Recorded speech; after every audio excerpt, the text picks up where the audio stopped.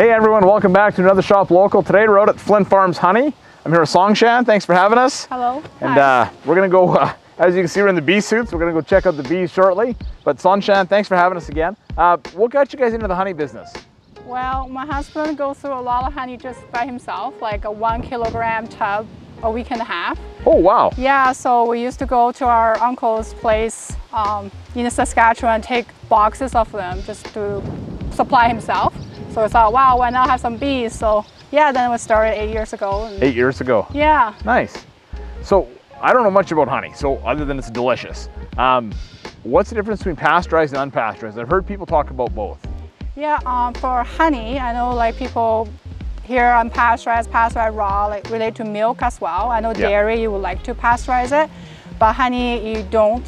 So raw honey is actually better. Oh, really? It just means uh, you never being filtered or heat it. so all the natural health benefits are still in there. Okay. So yeah, you definitely would like to have raw unpasteurized honey. So raw and pasteurized both just means the, all the health benefits are still there. And so you guys collect all the honey on site, which I think we're gonna go see shortly, Yeah. and you like you package it and everything right here as well. Yeah, yeah, we just uh, do it on farm. We have a honey bee shop, and then yeah, I do most uh, bottling and selling, and Okay, yeah, nice. right here. So nice. So besides honey, what other products do you guys have? I've seen candles before, but what all do you have for products? so we have 13 different kinds of honey, like cinnamon honey, lemon honey, strawberry honey, raspberry Oh, wow. honey, coconut honey, and we do. Um, I make lotion and Okay. lip balms with our honey and beeswax. And then anything about bees, we have bee pollen, propolis, and honeycomb, and honey Oh, wow. sticks, and yeah, you yeah, everything about bees. We'll have a little tiny bit. Yeah. Is there any kind of really different way to take honey besides, you know, spreading it or, or having like a, a solidified honey? Like, is there some really unique way that you guys have found that's really cool to eat honey or Well, our thing is popcorn in our family. popcorn? So actually, one way we use our cinnamon honey is just melt it with butter in the microwave. Oh, wow. And my husband actually have a decent uh, ice cream pail. That's called his popcorn pail. So he melts this and drizzle on top of the popcorn. oh, nice. and So instead of butter, you're doing it with kind of the cinnamon and But honey. together, one Together. to one ratio, and then Nice. we drizzle on top. We just eat it with I think I could get into that. That'd Yeah. be really good. But you can cook with it. You can, you know, like we have coconut honey.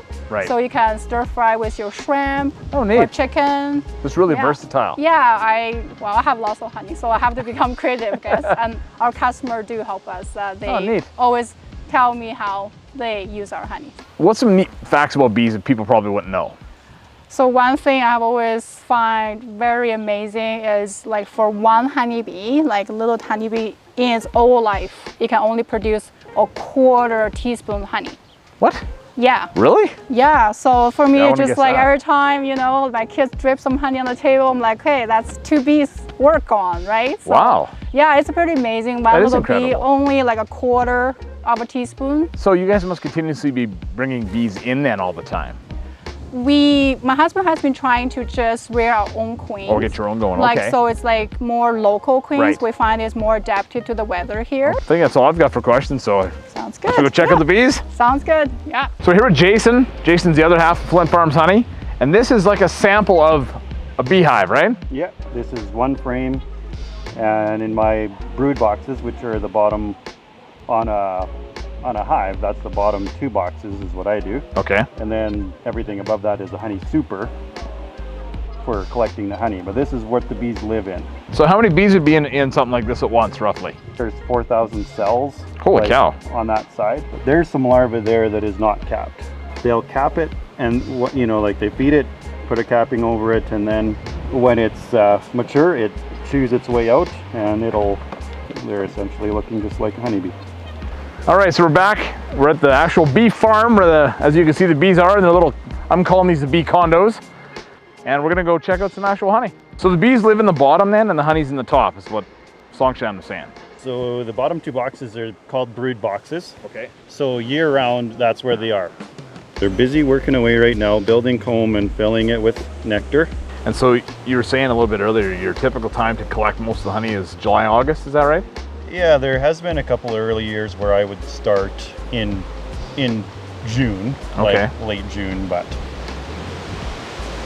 it kind of depends how many honey supers you have. If you're running out, then you need to extract so that you have empty boxes to put back on the hives. Okay. Oh yeah, you can see the honey in there. So you'll be able to see nectar. And so they will finish building that all out fairly thick and then they'll put a white capping of wax over top of it. So you can see that the cells slope downwards. If you take it and shake it like that, you'll get some nectar coming out. And so it's pretty much just water. Huh. Like, you know, like it's Yeah. not sticky, it's it, it is just like water. Yeah, it is just like water. I, I don't know what the ratio is. I think they have to collect 12 pounds of nectar to get one pound of honey. Really? And so how much honey would you get out of what you guys have here? Like how many pounds, I guess?